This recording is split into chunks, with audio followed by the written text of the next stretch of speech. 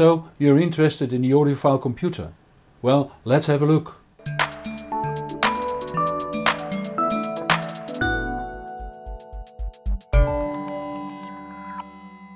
Instead of buying a player that was designed as an audio player, you might buy a computer and tweak it for audio reproduction. Although it is easy to have a computer play music, it's a lot harder to have it play music in good quality, let alone excellent quality. You need not only be knowledgeable in the field of digital audio, but also have a good insight in computer technology. Often the goal of using a computer as music player is to save money. But believe me that you always end up spending more money than planned. A good example is using the Raspberry Pi as a music player. It only costs 38 euros, but when you connect it directly to a DA converter over USB, you'll end up with a poorly sounding player, regardless the quality of the DA converter. Or you can add a DA converter on a PCB that fits directly on top of the Raspberry Pi. And again, you'll end up with poor sound quality. Only when you add a very good, clean linear power supply, you can get decent results.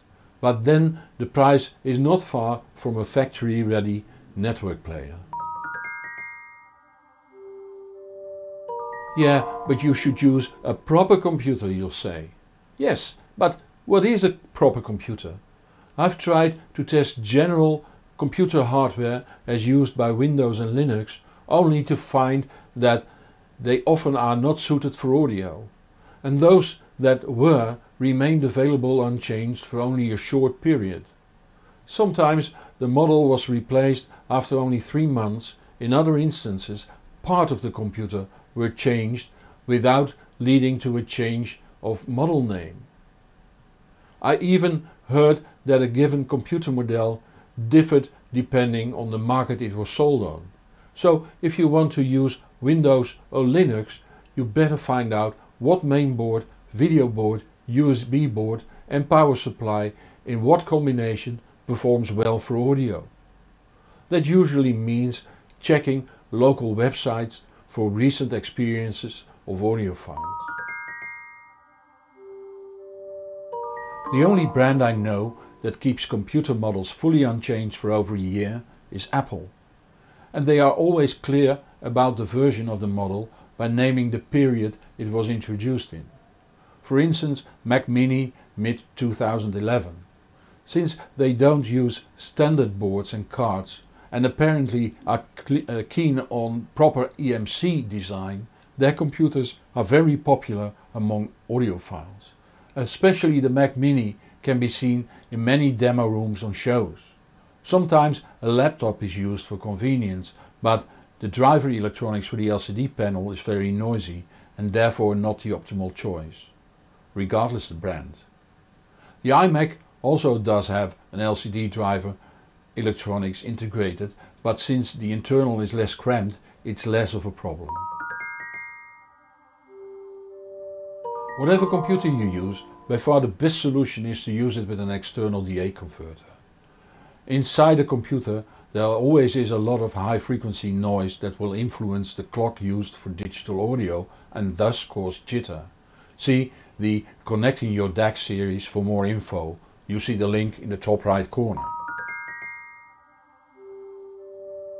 In the old computing days, say a week ago, the conventional hard disk was also called a Bernoulli drive, since Bernoulli's law, in gases the product of speed and density is constant, described why the read-write head inside a hard disk can fly just above the surface of a disk. This knowledge serves no purpose, but since I'm a member of the Society for Preserving Useless Knowledge, I think you should know. So the question for an audiophile computer is whether Bernoulli drives conventional hard disks, suffice or that solid state disk SSDs are a better choice. My experience is that an SSD system drive is very beneficial, but for storage of digital audio, one or more conventional hard disks, indeed the Bernoulli type, works just as good. I will do a separate video on ripping and on adding metadata, but I must mention here that proper ripping is not difficult if you use the right combination of hardware, drivers and ripping software.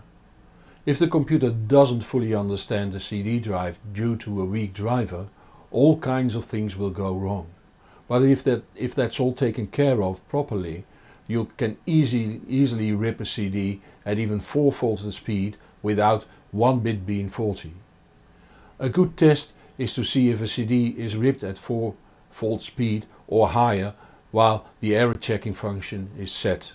It should theoretically take only one fourth of the playing time of the CD, but that's never the case.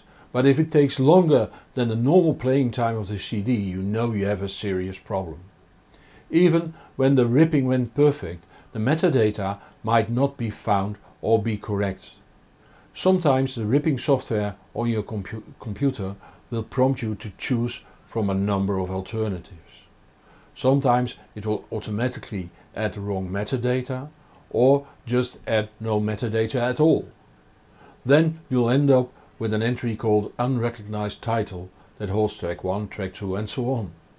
You can correct it by using special naming programs on the computer as for instance rename for Windows uh, Music Brainz Picard for Windows and Mac or Yate for the Mac.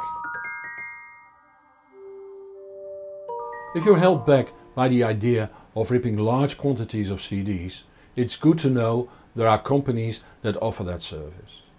The going price is about 1 euro a disc, somewhat lower for larger orders and well negotiable for really big orders. You often have to take all your CDs out of their jewel cases or sleeves and put them on a spindle since the company loads them into a fully automatic ripping machine.